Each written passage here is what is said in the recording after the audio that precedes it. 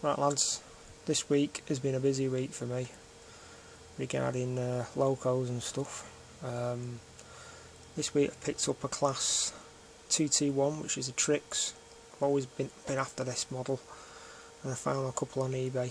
Uh, the Trix, as you can see, is four wheel drive, not much guts in it so I can put any sound decoder I want in there, any speaker.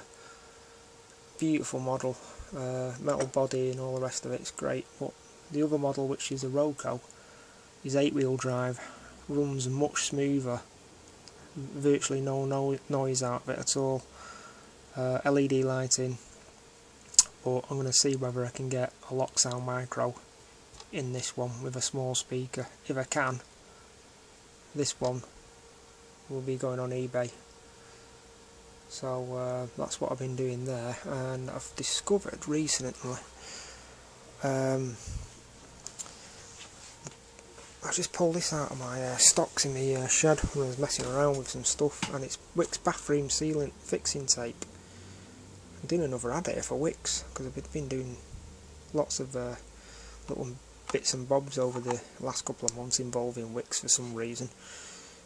But, you could probably get it from anywhere but it's um, it's the black fixing tape which looks like that.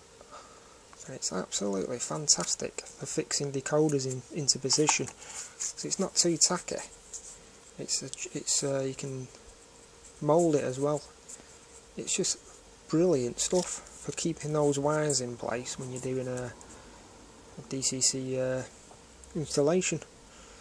And it's probably similar to the stuff you can buy on the modeller's uh, electronics websites but this stuff is a fraction of the price and you get a load of it. So it's just one tip.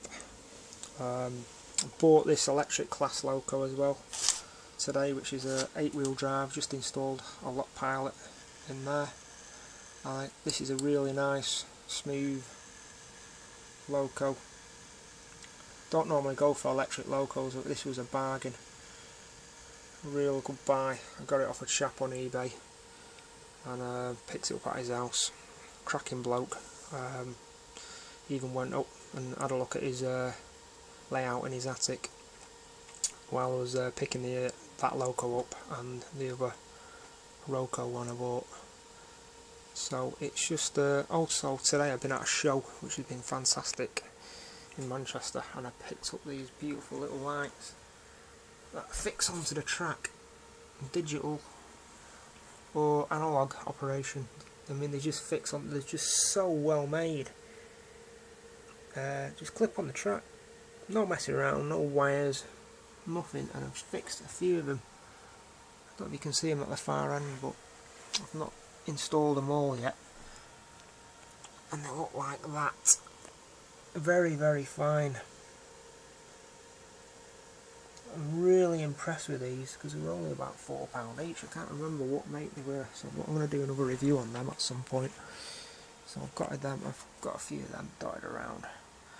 And I've also bought a rake of the LokSound SwitchPilots. So I'm going to be electrifying a load of points soon. Probably in the next week or so. But anyway, it's just a quick update of, of that. This uh, I thought I've got to tell someone about that because it's quite quite good. Okay, thanks for watching.